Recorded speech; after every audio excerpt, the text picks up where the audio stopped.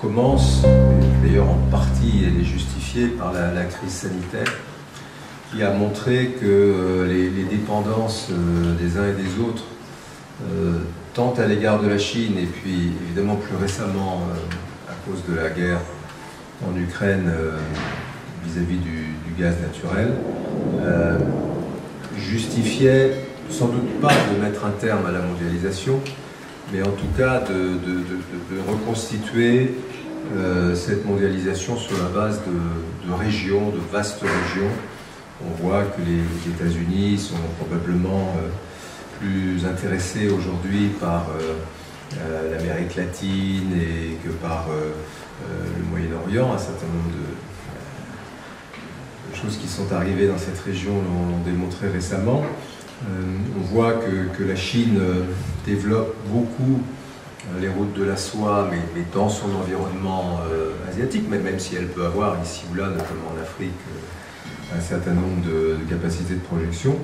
Et puis on voit que, l'Union européenne, qui est quand même la zone sans doute de, la plus grande prospérité en termes de, pouvoir d'achat, sinon de population, a un projet toujours plus intégré. On a, parlé du, plan de relance français et puis de, France 2030, mais euh, on n'a pas parlé du, plan de relance euh, européen, hein, qui a été assez largement, sinon suggéré, enfin, du moins soutenu par la France, puisque pour la première fois dans l'histoire de l'Union européenne, il y a eu 800 milliards d'euros qui ont été euh, mobilisés sous forme d'emprunt.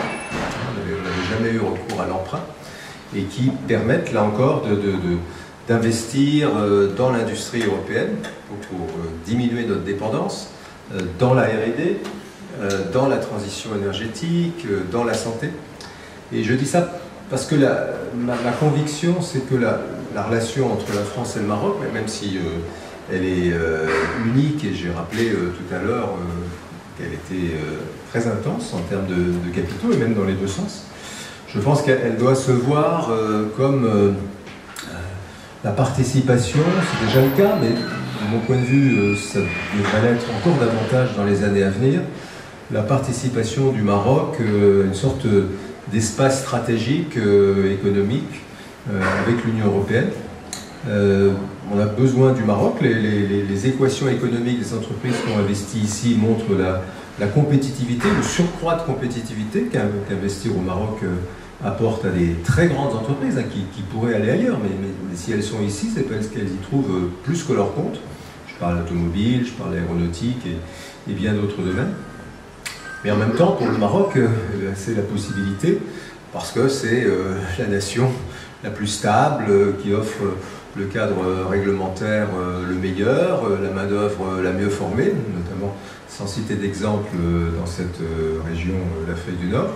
Euh, c'est aussi pour le Maroc euh, la possibilité de, poursuivre euh, une trajectoire très brillante qui d'ores et déjà place ce pays dans la catégorie de l'émergence, mais, qui demain pourra encore lui, faire monter un certain nombre de degrés dans l'échelle de la, prospérité. et de ce point de vue-là, encore une fois, même si ce terme est assez galvaudé, ça, ça peut être qu'une stratégie gagnant-gagnant.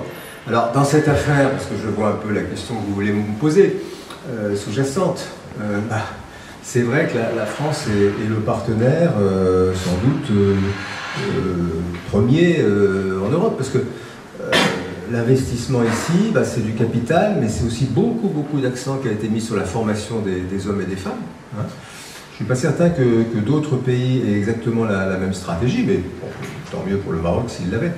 Donc je, vois cet avenir comme un avenir non seulement radieux, mais ça c'est un, bon, un qualificatif qui est peut-être un peu euh, déplacé quand on parle d'économie, mais non seulement euh, radieux, mais, surtout incontournable.